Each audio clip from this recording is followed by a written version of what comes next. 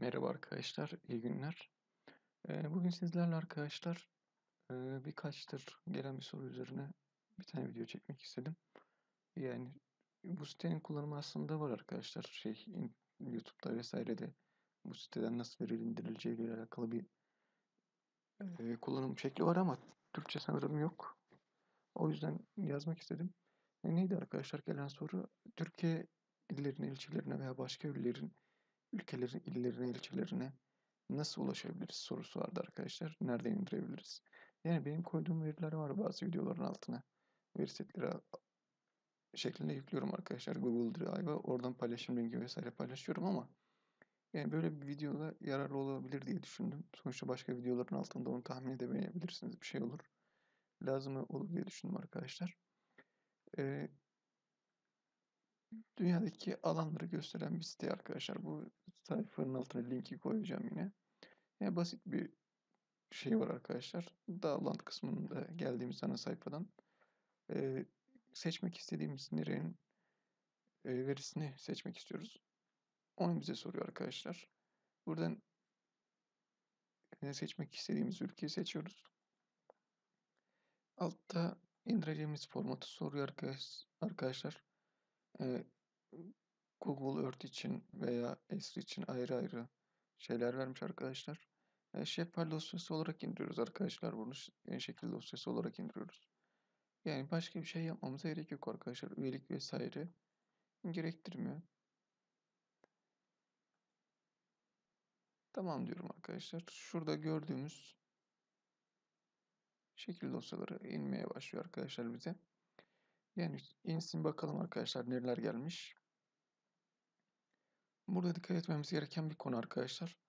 Ee, buradaki veriler tam olarak güncel değil. Bu Büyükşehir Yasası ile birlikte bazı illerimiz biliyorsunuz ki şey oldu. Büyükşehir oldu. Bu bağlamda e, merkez ilçeler değişti. Buna bağlı olarak sınırlar değişti. Bu yüzden arkadaşlar onlara dikkat edin kullanırken. Bir merkez ilçelerine vesaireye bakmayı unutmayın. Yani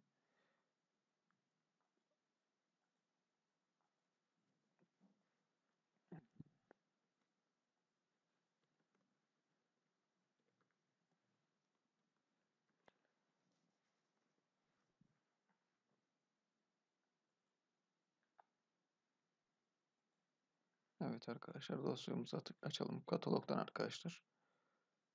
Açıyoruz dosyamızı. Türkiye iller demiştik. Gördüğünüz üzere 3 katman şeklinde Türkiye iller geldi arkadaşlar bize.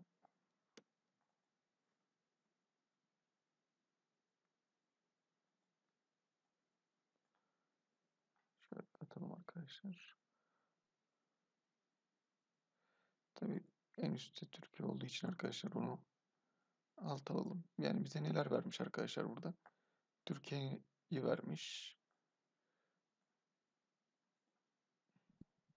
Türkiye sınırlarını vermiş. Ülke sınırlarını vermiş yani. Başka ilçe sınırlarını vermiş. Bir tane de şöyle ileri vermiş arkadaşlar. Bunun isimlerini değiştirebilirsiniz siz. Şuradan hemen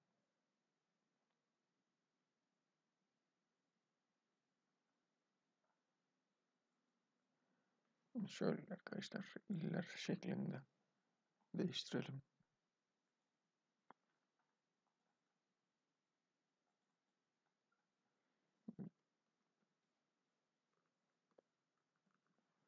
İlçeler arkadaşlar. Peki bize hangi verileri vermiş? Mesela iller kapsamında ona bakalım arkadaşlar. Adını vermiş arkadaşlar. Başka bir özelliğini vermemiş sanırım. Yani eski isimlerini vermişler sanırım arkadaşlar. Evet. E, bu şekilde arkadaşlar illerimiz, il sınırlarımız gelmiş oluyor. İlçelerde de yine sadece isimleri oluyor genelde. Yani hangi ile bağlı olduğunu gösteriyor. Birinci Çanakkale'ye bağlı olanlar. Neyim ikisinde de ülkenin kendi adı yazıyor arkadaşlar. Yani bunları bu veriyi kullanarak arkadaşlar kendi tematik haritalarını vesaireyi oluşturabilirsiniz. İlerleyen derslerde bu veriden nasıl tematik harita oluşturabiliriz? Belki onlara değiniriz arkadaşlar talebe göre. Ee, bu şekilde arkadaşlar illerimizi indirmek, il verilerini indirmek Umarım faydalı olur arkadaşlar. Çalışmalarınızda kolay gelsin. İyi çalışmalar arkadaşlar.